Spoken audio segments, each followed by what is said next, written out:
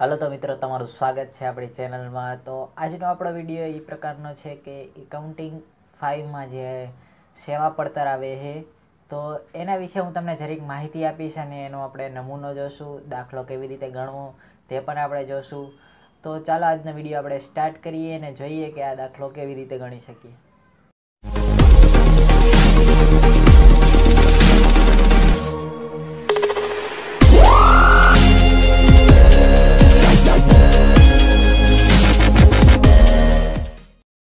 તો મિત્ર, પહેલાં આપણે જે સમજૂતી મેળવી છે તે પ્રમાણે સેવા પડતરનો આપણે દાખલો આજે ગણશું.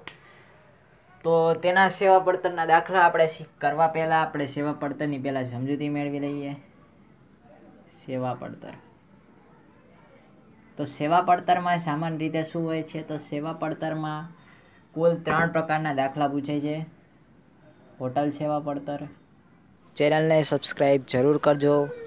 બાજુમાં આપેલ બેલ આઇકનને ઓલ ઉપર જરૂર ટિક કરજો. હોસ્પિટલ સેવા વિડીયોને લાઈક જરૂર કરજો અને બીજાની સાથે શેર જરૂર કરજો. અને ત્રીજું થિયેટર. થિયેટર કયો કે સિનેમા કયો કે ગમે તે કયો તેની સેવા પડતર વિશે આ દાખલામાં આપણે તેનો દાખલો ગણવાનો હોય છે. તો હવે તમને બધી વાત કરું કે હોટલ સેવા પડતરમાં સામાન્ય રીતે ખાતું બનાવવાનું હોય છે, હોટલ સેવા પડતરનું. ઓમ તો બધામાં આ સેમ જ પ્રકારના ખાતા હોય છે. વિગત અને રકમ. આ પ્રકારનું કંઈક ખાતું હોય છે. તો આમાં બધા હોટલ સેવા પડતરને લગતા ખર્ચાઓ દર્શાવવાના હોય છે. જેમ કે હોટલમાં આપણે જઈએ તો સામાન્ય રીતે વિચારો કે હોટલમાં જઈએ તો આપણને આપણી ખુદની એક હોટલ હોય તો તેમાં શું શું ખર્ચા હોય?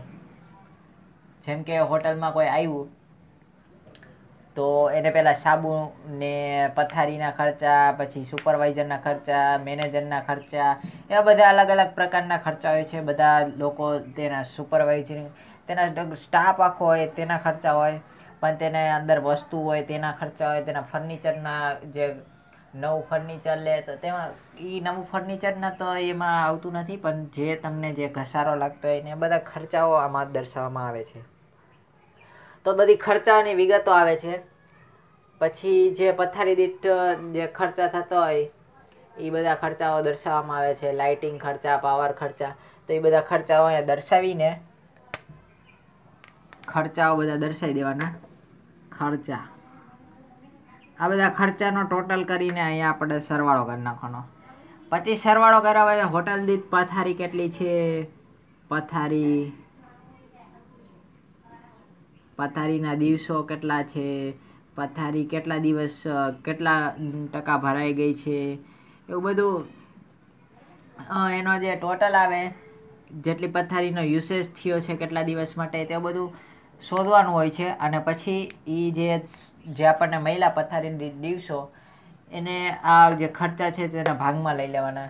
કે આ પથારી દીઠ આપણે કેટલા ખર્ચો થયો છે, પડતર થઈ છે તે આપણે શોધવાનું હોય છે. પછી જો આપણને કીધું હોય તો હોટલમાં નફો ઉમેરીને પછી આપણને પથારી દીઠ કેટલી રકમ ભાડું લેવાનું હોય છે, તેને ભાડું કહેવાય છે. નફો એકવાર પ્લસ થઈ જાય ને એટલે પછી તે ભાડું થઈ જાય છે. નકર પહેલાં તે પથારી દીઠ પડતર હોય છે. તો જે નફો પ્લસ કરીને જે રકમ મળી છે, તેના પછી પથારીના દિવસો દીઠ ભાગવાના રહેશે. તો આપણને પથારી દીઠ કેટલું ભાડું વસૂલ કરવાનું છે તે મળશે. તો આ તો હોટલનો હોસ્પિટલનો તેવી જ રીતે. પણ હોસ્પિટલમાં પ્રાઇવેટ હોસ્પિટલ હોય તો તેની આવક થાય, પણ સરકારી હોય તો તેની આવક ન થાય. તો તે પણ ધ્યાનમાં રાખવું જોઈએ.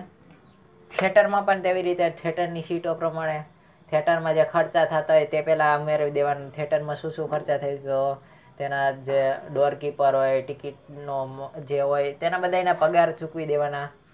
પ્લસ તમારે જે કાંઈ બીજા ખર્ચા થતા હોય, ઘસારા થતા હોય, તે બધા ઘસારાને બધું ઉમેરી દેવાનું. તો આ ત્રણેય વસ્તુ આ દાખલા સેવા પડતરમાં પૂછાય છે. આ કાંઈક એની સમજૂતી હતી.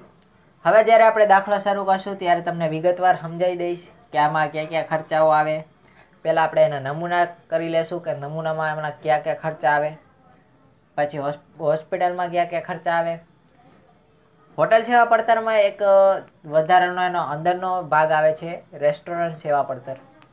તો તેમાં પણ આપણને કઈ કઈ ખર્ચાની વિગત આવે તે પણ હું તમને એક નમૂના સ્વરૂપે દેખાડીશ. તો એ આપણે એક અલગ વીડિયો બનાવશું.